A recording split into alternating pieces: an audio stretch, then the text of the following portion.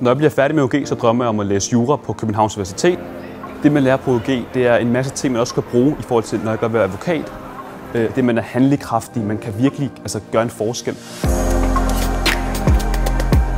Jeg valgte faktisk UG på grund af arkitekturen på skolen. Jeg synes, det var meget specielt. Øh, der er sådan åbne lokaler og holdmiljøer, hvor man ligesom ser alt, hvad der sker på skolen. Vi kan også gøre det meget mere socialt. Og så man går ned ad trapperne og op generelt, så møder man en hel masse mennesker. Så skal man lige stå og snakke her, øh, Vi hvilket gør det meget sjovere. Jeg synes, det er meget fedt, at jeg kan, ligesom, kan se forskellige klasser, øh, og nogle af mine andre kammerater i min anden klasse, hvor man sådan kan hilse på dem, i stedet for at man måske er lukket inde i et bestemt klasselokale. En af grundene til os, hvorfor jeg faktisk valgte øh, OG, det er fordi, at vi slet ikke bruger bøger. Altså vi har ikke ingen fysiske bøger på den måde, og det synes jeg er virkelig dejligt. Fordi jeg kan selv huske i folkeskolen, hvor jeg plejer at glemme matematikbogen eller sådan ting. Så det er bare dejligt, at man har alt på sin computer. Øh, hvilket jeg synes er en stor fordel. Altså også sine noter og det hele på computeren, hvilket gør det meget nemmere. Lærerne er meget gode til at altså, kunne bruge værktøjerne og sådan, tænke på meget kreative løsninger.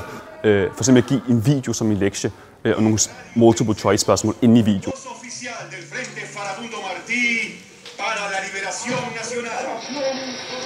Ja, i forhold til læringsmiljøet, øh, der kan jeg godt lide, at vi har nogle holdlokaler. Det vil så sige altså lokaler, der er lukket rum, og så har vi åbne øh, holdmiljøer. Og når vi har øh, teori at gøre med, så ser vi meget typisk ind i holdlokaler, øh, hvor læreren så giver os øh, en form for teori, vi skal kunne anvende i praksis, hvilket så vi går ud og laver i holdmiljøerne. Så det er meget godt, at man får selv lov til at arbejde med teorien.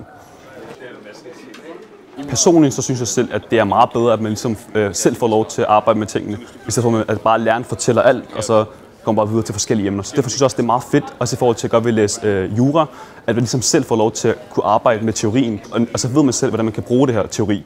For det skal man jo ud i det virkelige liv i hvert fald.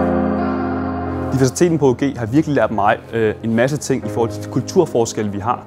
Øh, og, og i sidste ende, så minder det meget om hinanden. Når vi kommer ud fra skolen, så er vi sådan dannede mennesker, der har bedre overblik over forskellige kulturer. Man møder en hel masse andre mennesker, forskellige baggrunde, Det gør det meget mere interessant i forhold til, at man ligesom kan, kan snakke med mennesker fra en helt anden verden,